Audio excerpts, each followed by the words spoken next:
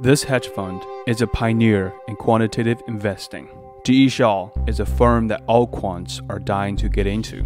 Managing $50 billion, D.E. Shaw is instrumental in creating the quant industry that now owns one third of all the US stock market. For D. Shaw, their composite fund, which has been closed to new investors, is up more than 10%. That's beating the hedge fund average around 8%. But these days, investors are happy if they see a double digit return. In the late 80s and early 90s, many scientists and engineers have entered into the hedge fund industry. They approach the market in a different way than economists. Economists believe that the market is efficient, but mathematicians at D.E. Shaw discover a lot of patterns that are not explained by economic logic. There are statistical anomalies that are not random. These are called ghost patterns. They have made billions of dollars for quant firms like D.E. Shaw and Renaissance Technologies.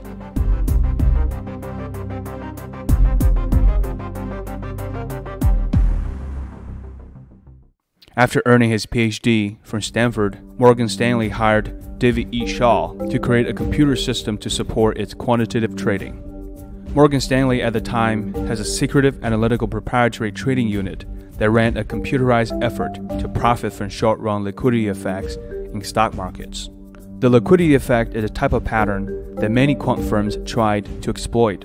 In early 70s, a hedge fund manager, Michael Steinhardt, discovered that a big sell order from a pension fund could push a stock price out of line, provided that there were no information behind the sale. Economists always like to assume that all trading is between informed traders and liquidity providers.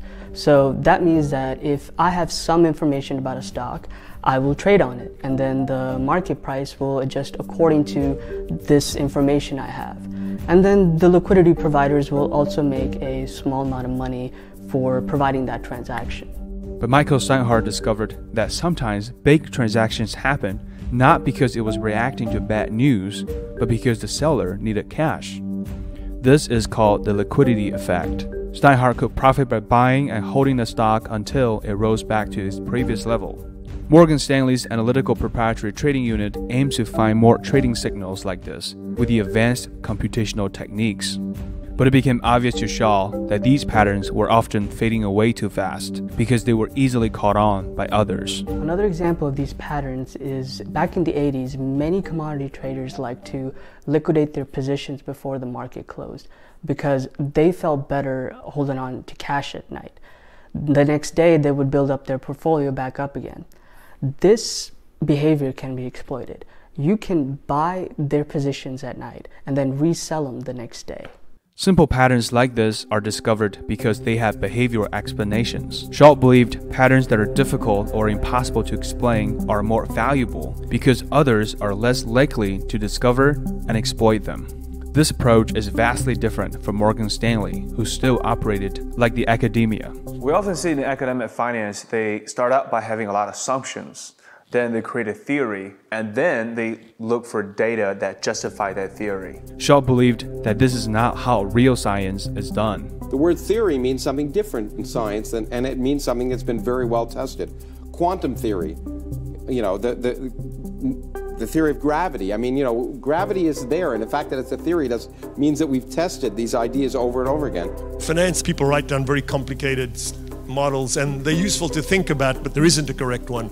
D.E. Shaw began investing in June 1989, having secured $28 million in capital from a group of private investors. The ghosts that Shaw discovered were hard to explain. When he found recurring patterns and printed them out, there were no familiar terms that could be used to make sense of the anomaly. A lot of people assume that quant funds like uh, D.E. Shaw use high frequency trading, but that's not the case. They don't need to trade in milliseconds. Their advantage is these patterns they discovered instead of rely on speed. Pretty soon, the profits started to roll in, and Shaw quickly expanded the firm to a much larger scale. After finding profitable strategies in equities, D.E. Shaw discovered that there are more anomalies in derivatives. In early 90s, a group of economists started a hedge fund called Long Term Capital Management Company to exploit some inefficiencies in the derivatives market. In a few years, it has made around 40% annualized returns, but failed catastrophically in the end. Assets. They were valued at about $4.8 billion, and this all took place in the weeks following Russia's currency devaluation and bond default. The Federal Reserve had to orchestrate a $3.6 billion bailout by the fund's 14 banks in order to calm fears that the firm's lenders and trading partners would be dragged down. Again, these economists that manage this hedge fund made a fatal error that most of academic finance makes, assuming a normal distribution. Simply put, they underestimate the likelihood of rare events. When it did happen, it wiped out the entire fund and almost took down the financial sector with it. Shaw saw his chance. His mathematicians were better at modeling than other market players. Without assuming normal distribution, Shaw's team came up with an options pricing model that gave him an edge in multiple markets. By now, Shaw had created a machine to discover anomalies in stock prices and derivatives. Some of the strategies produce over 40% returns a year. I think Robert Mercer, who was the CEO of Renaissance Technologies, summarizes the best when he says, Some signals that make no intuitive sense do indeed work.